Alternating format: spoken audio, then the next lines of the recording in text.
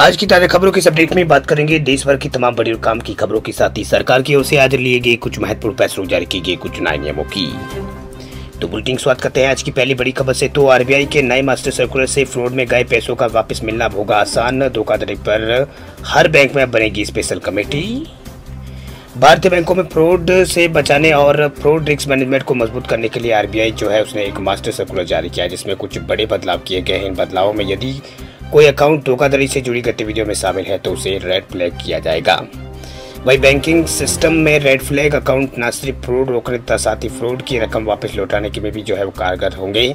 साथ ही बाकी बैंकों के लिए भी इससे यहाँ पर मदद मिलेगी। वो भी जो है रेड फ्लैग के नए अकाउंट को लोन यहाँ पर ना दे सकेंगे। दरअसल आरबीआई के सर्कुलर के मुताबिक हर एक बैंक अब जो है स्पेशल कमेटी बनाएगा, जिसका काम होगा कि वे बैंकों में होने वाले फ्रॉड पर पैन नज़र बनाए रखे वह उन्हें ट्रैक करे और सही नतीजे तक उसे पहुँचाए। इस कमेटी का नाम एस सी बी एफ़ जो यहाँ पर S C M B F जो है इसका नाम होगा। ये कमेटी ये पता लगाएगी कि बैंक के सिस्टम में कहाँ कमी रह गई थी कि फ्रॉड हुआ।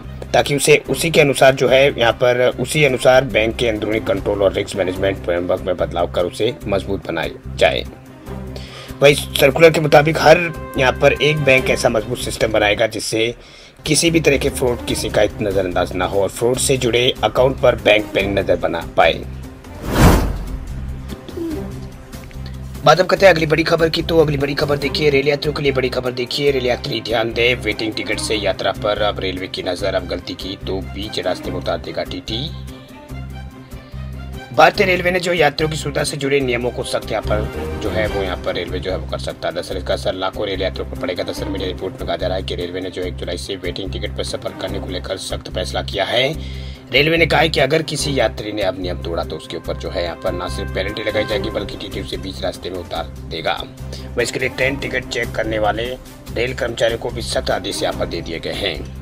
दरअसल कहा जा रहा है कि रेलवे ने जो है वेटिंग टिकट पर रिजर्वेशन वाले डिब्बों में सफ़र करने वाले, यानी वेटिंग टिकट पर रिजर्वेशन वाले डिब्बों में सफ़र करने पर पूरी तरह से प्रतिबंध लगा दिया। इसका मतलब यह कि अगर आपका टिकट वेटिंग में रह गया है तो आप एसी या फिर स्लीपर कोच में सफ़र नहीं कर सकते हैं। भले ही आपने टिकट स्टेशन की खिड़की से ऑफलाइन ही क्यों ना लिया हो।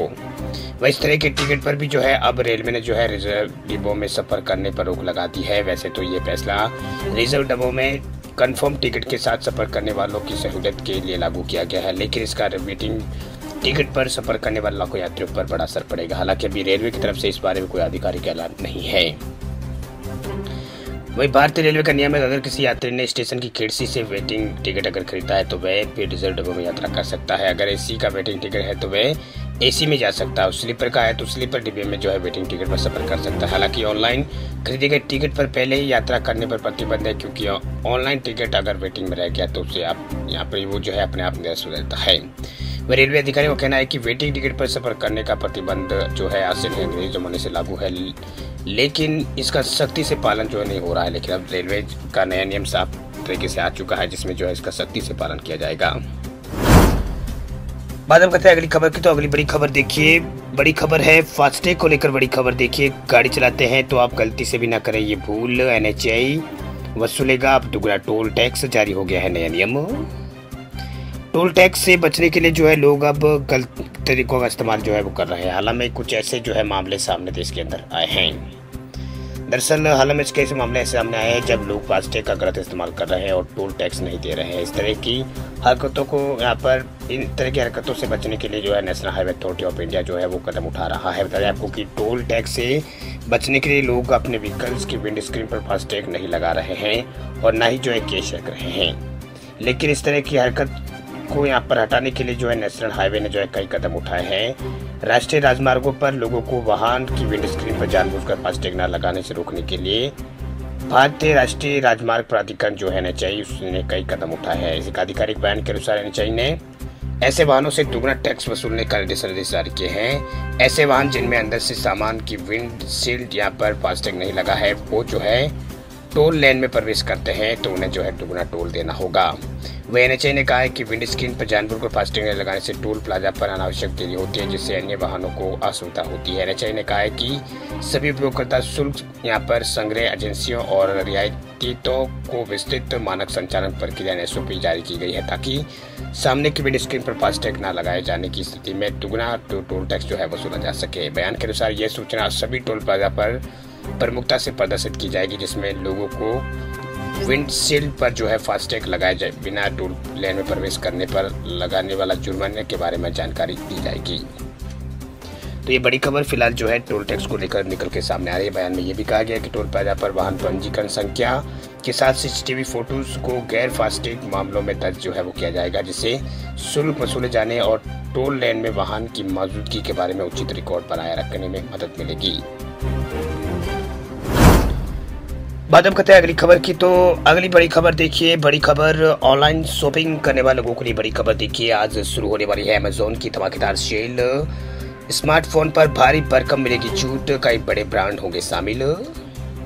अमेजोन प्राइम डे को शुरू होने में जो है अभी कुछ ही समय यहाँ पर बचा है, इस साल जो है यहाँ पर इस सेल में जो है आपको, यहाँ पर जो है इस सेल मतलब इस टाइम जो इसका शुरू हो चुका है, अब आप इस सेल में लाइव है।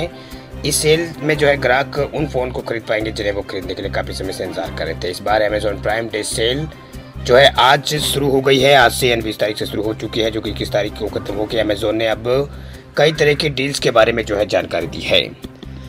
दरअसल प्राइम डे सेल के लिए बनाए गए पेज में अलग अलग डील्स के बारे में बताया गया है। पेज लोडिंग पेज के मुताबिक वन प्लस एप्पल सैमसंग क्यू और एम आई रियलमी पोको और टेक्नो जैसी कंपनियों के फ़ोन से सेल में डिस्काउंट में मौजूद रहेंगे। प्राइम डे के ऐलान के दौरान जो है आईफोन 15 पर भारी छूट मिलने की संभावना है। ये फ़ोन पिछले साल लॉन्च हुआ था।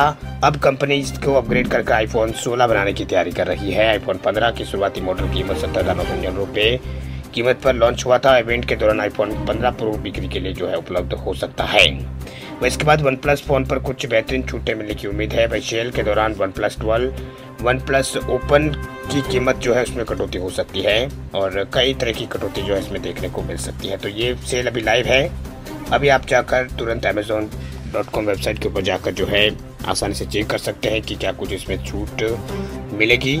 आसानी से भी आप चेक कर सकते हैं। गौर करने वाली बात यह है कि प्राइम डे इन बेहतरीन डील और नए प्रोडक्ट को लॉन्च करने का फ़ायदा केवल प्राइम मेंबर से उठा पाएँगे, जिन्होंने अमेजोन का जो प्राइम मेंबरशिप ले रखी है वही इसका फ़ायदा उठा सकेंगे। अमेजोन प्राइम मेंबरशिप में कई सुविधाएँ शामिल है, जैसे कि एक मिलियन से ज़्यादा आइटम्स पर सेम डे डिलीवरी और चार मिलियन से ज़्यादा प्रोडक्ट एक ही दिन में डिलीवर यहाँ पर होगी। इस तरह की जो है, छूट दी जाती है। वीडियो अच्छा लगे लाइक कर दे, चैनल पर नए चैनल को सब्सक्राइब कर दे, साथ में बेल आइकन को तुरंत दबा दे, ताकि खबरें जो है आपको रोज़ाना मिलती रहे।